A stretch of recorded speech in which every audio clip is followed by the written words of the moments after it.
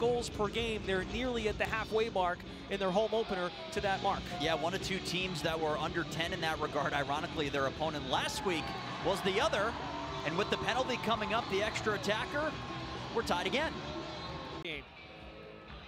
We starts the track meet here for Buffalo in transition. Finds Cloutier out the front door. Cloutier creates separation and scores.